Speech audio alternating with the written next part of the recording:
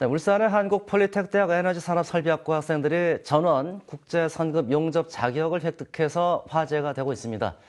자, MBC가 만난 사람 오늘은 진윤근 학과장 모시고 이야기 함께 나눠보겠습니다. 안녕하십니까? 예, 반갑습니다. 예, 자, 축하도 많이 받으셨겠습니다. 예, 여러 군데 전화도 많이 받았고 상당히 뭐 학교의 학생들을 가르치는 보람이 이번 기회가 가장 큰 거 아닌가 생각합니다. 예, 또 축하를 드립니다. 예, 감사합니다.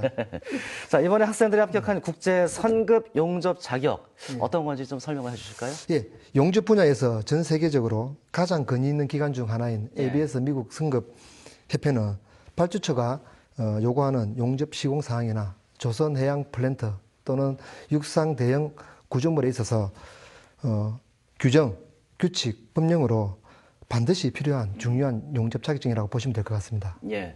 그러면 뭐 전 세계 어딜 가도 용접 분야에서는 이 자격이면 다 이제 오케이다. 예, 맞습니다. 예, 그 정도로 인정을 받는 거네요. 예.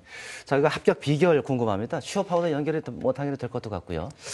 예, 이 용접이 상당히 매우 까다로운 네. 그 방사선 투하 검사를 엄격히 하고 있고 사소한 결함도 어, 허용하지 않고 고품질의 까다로운 용접을 요구하고 있기 때문에 이번처럼 전원 합격이 되는 것은 상당히 매우 이례적인 일입니다. 예, 예. 통상적으로 한 6, 70%의 합격률을 어, 보이고 있지만 저희 학생들은 방과 후 수업이라든지 네. 토요일, 일요일을 반납해 반납하면서 음. 불출주야 솔직히 용접을 열심히 연습했습니다. 고생을 진짜 많이 했겠네요. 예, 정말 고생 많이 하고 용접이라는 것이 잘 아시겠지만 불꽃과의 싸움으로 예. 음. 우리 학생들 이겨낸 것 같지 않나 생각합니다. 특히 어, 7월의 무더운 예. 날씨와에 진짜 정말 어, 할 수 있다는 긍정의 에너지가 저는 합격의 비결이 되지 않았나 생각합니다. 말 그대로 뭐 땀으로 샤워를 했겠네요. 예, 땀으로 샤워도 했은 적이 있었고 네. 용접 중간 중간에 샤워실에 가서도 씻고 또 시원한 아이스크림도 먹어가면서 음. 예. 즐기면서 용접한 결과가 오늘날에 좋은 결과 있지 않았나 생각합니다. 예.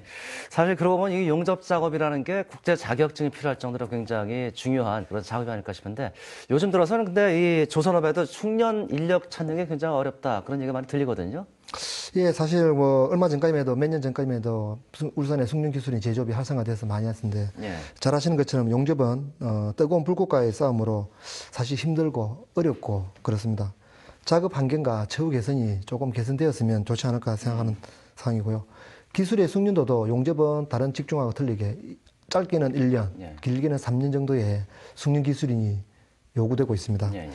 특히 첨단화된 어, 용접 시공 기술이라든지 많이 개선되었기 때문에 현장에서 어, 협동 로봇이라든지 그런 것을 이- 활용하고 있기 때문에 어, 숙련 기술이 조금만 극복된다면 좋지 않을까 생각하고 특히 어, 저희 교육기관에서도 우수한 인재 양성을 하고 있어서 입사 시 어, 조금이나마 정규직화 하여 주시면은 어, 극복하는 데는 뭐 빠른 시일 내에 좋은 결과가 있지 않을까 생각을 하고 있습니다. 당연히 뭐 대우를 받아야 하지 않을까 그런 생각도 드네요. 예, 좀 뭐 과거보다는 많이 좋아졌고 특히 용접 시공이라든지 로- 협동 로봇이라든지 용접의 첨단화 시공이 많이 되어 있기 때문에 과거와는 조금 다른 어, 그러한 어, 현장에서의 예, 시공이 이루어지고 있다고 보시면 될 것 같습니다. 예. 자, 울산시에서는 해마다 기술 명장 선정을 또 하고 있습니다. 그런 만큼요. 이 용접에 대한 어떤 그 사회적인 인식 제고 이것도 좀 필요하지 않을까 싶은데 좀 많이 변했습니까? 어때요? 아, 예. 지금 사실은 뭐 잘, 시청자 여러분께서 잘 아시는 것처럼 9월 9일은 우수 숙련 기술의 날로 국가에서 제정이 되어 있습니다. 23년도에 어, 이번에 법이 첫 공포되어서 9월 9일 날 울산에서 대한민국 명장회와 울산시 어, 각 구청에서 저희들이 조그마한 행사를 시작했는데요. 울산은 어느 지역보다도 제조업과 뿌리 산업이 연관된 대기업과 강소기업, 중소기업이 많습니다. 전국 지자체 최초로 어, 지역 맹장과 대한민국 맹장들에 대한 사회적 자긍심을 가지게 하기 위하여 여러분들이 잘 아는 남구청 앞에 왕생이라든지 예, 예, 예. 울산박물관 또는 고래박물관 등의 어, 저희들 그 핸드 프린팅을 통해서 어, 지역 사회에 많이 하고 이 사회적 인식 제고에 전국 지자체 최초, 최초로 울산이 앞장서는 그런 좋은 홍보 효과도 있지 않을까 그렇게 생각하고 있습니다. 어떤 분들의 손바닥인가 사실 많이 직, 어, 보기도 하거든요. 예. 예. 근데 그분들이 저희들 학생들이 최근에 어 봉사활동하러 가서 예. 저희들이 대한민국 명장님들이라든지 우수 숙련 기술인 손바닥을 보고 그런 학생들도 큰 어, 아, 용접이 그냥 단순한 게 아니고 이렇게 사회적 인식도 많이 바뀌었구나 하는 또 우대를 해주는 그런 사회적 풍토가 조성되었다는 것을 많이 보았습니다. 예. 자, 마지막으로 더 하시고 싶은 이야기 있을까요? 예. 백세 시대의 인생을 살아가는 세상입니다. 세계 최고의 용접 기술로 제2의 인생을 설계하는 것도 최고의 행복이라고 저는 자부합니다. 특히 기능과 기술의 조합을 이루는 용접은 최고의 고부가 가치 산업이라고 저는 확신합니다. 네. 감사합니다.